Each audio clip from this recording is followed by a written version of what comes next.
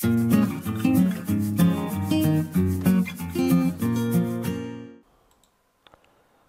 привет, дорогие друзья! Вы на канале IT Доктор. С этого видео я начинаю небольшой видеокурс по работе с системой управления версиями. Мы будем работать э, с Git и GitHub. Делать это в нашем редакторе Visual Studio Code я вам очень сильно рекомендую, потому что здесь есть э, очень удобная возможность для этих действий. Вот здесь у нас специальная вкладка. Если вы не смотрели обзор на этот редактор, обязательно посмотрите. Ссылка появится здесь и в описании.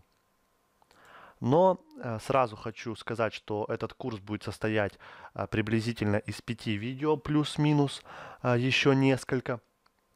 Также видео будут не слишком длинные, по 5-10 минут, для того, чтобы слишком сильно не нагружать вас информацией, потому что э, информация с самого начала, конечно же, будет э, не очень хорошо восприниматься, возможно, э, так как она довольно сложная, но, тем не менее, буквально через пару э, дней э, или неделю использования данной системы вы уже будете э, очень хорошо в ней разбираться и вполне сможете с ней работать э, на довольно хорошем уровне. Сейчас я сразу же хочу ответить на несколько вопросов, которые у вас уже наверняка возникли и, возможно, возникали ранее. Э, что такое гид и зачем он нужен? Вам не нужно сохранять все свои изменения в отдельных каталогах, где-то их сохранять и потом пытаться что-то в них найти, откатиться к предыдущей версии кода.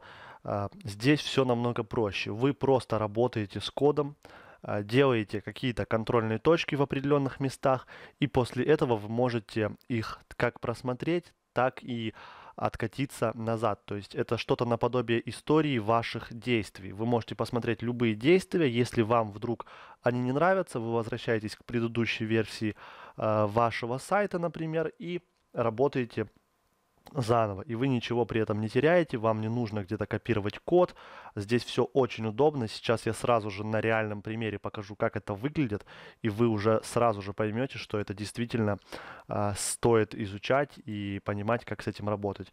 Конечно же, также если вы хотите серьезно заниматься разработкой, то вам обязательно нужно уметь работать с этой системой, потому что а, большинство а, компаний работают в командах, и вы будете так или иначе контактировать с другими программистами. И, конечно же, чтобы это все происходило очень удобно, вы будете использовать а, что-то вроде GitHub. Есть, конечно же, и другие системы, но GitHub одна из самых популярных. Для того, чтобы размещать там свой код, а, это как бы облачное хранилище, но оно дает еще дополнительные возможности, вот такие вот в виде а, истории и возврата к предыдущему вашему коду. Нам здесь немного предстоит работать а, с командной строкой. В зависимости от того, какая у вас операционная система, это может быть терминал или же командная строка Windows, но это не играет никакой роли. Вот здесь у нас есть терминал снизу в данном редакторе, его можно запустить вот здесь, вот создать терминал. Также можно использовать, конечно же, стандартную командную строку, но э, мы будем делать это по минимуму, так как у нас в редакторе есть готовые специальные возможности для э, работы с гитом.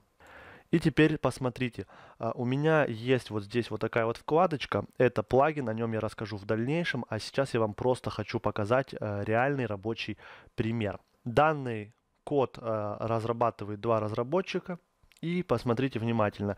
Здесь у нас э, синим текстом написано название, скажем так, нашей контрольной точки. Здесь таких изменений более 10, э, и э, мы можем любое из них просматривать. Например, мы хотим просмотреть, что было сделано вот в этом изменении.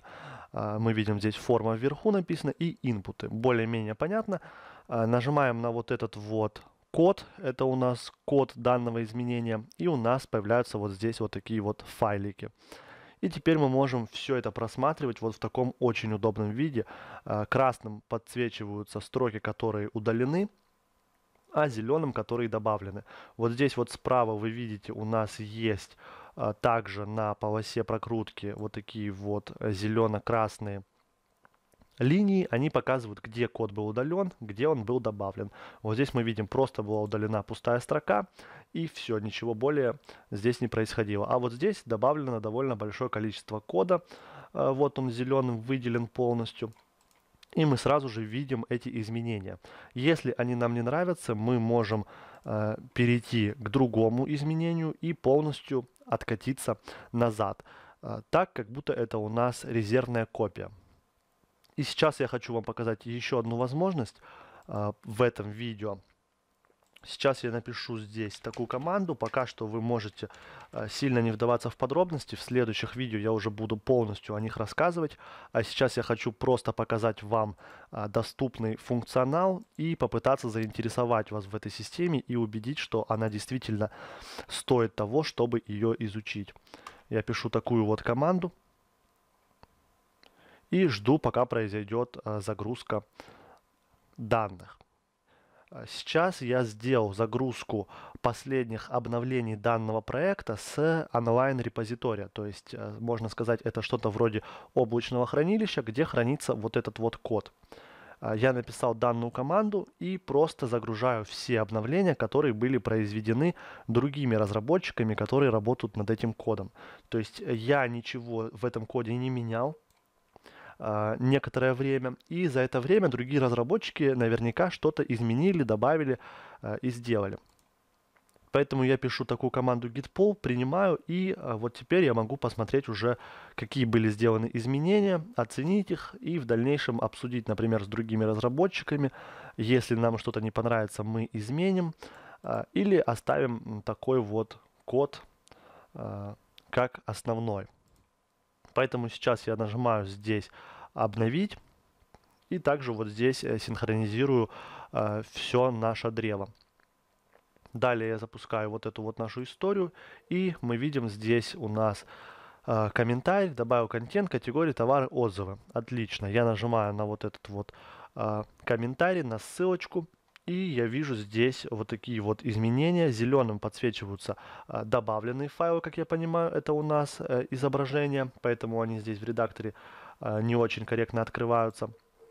А, поэтому давайте я сейчас посмотрю код, например, индекс HTML я вижу был изменен, а, и здесь вот они наши изменения. Давайте я сделаю вот так. И я вижу здесь довольно большое количество изменений. Я их просматриваю, ознакомливаюсь с этими изменениями. А, и после этого, например, могу запустить проект, нажимаю Go Live и смотрю, что же здесь изменилось, что добавилось.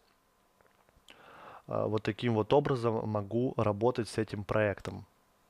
Поэтому вот такая вот гибкая и очень удобная система. Я надеюсь, я смог вас заинтересовать сейчас, что гид это действительно очень перспективная ветка развития, и вам обязательно стоит этим заняться посвятить немного времени и изучить.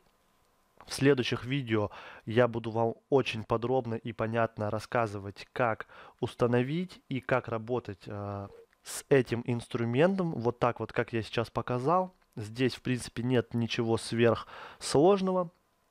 Главное, обязательно смотрите эти видео и попытайтесь полностью вникнуть в этот процесс. А для того, чтобы не потерять а, данный плейлист, добавьте его в закладки или же нажмите на колокольчик, чтобы у вас постоянно а, были уведомления о новых видео на моем канале. На этом вступительное видео я заканчиваю. Спасибо вам за внимание. Обязательно подписывайтесь, ставьте лайк, если вам понравилось это видео.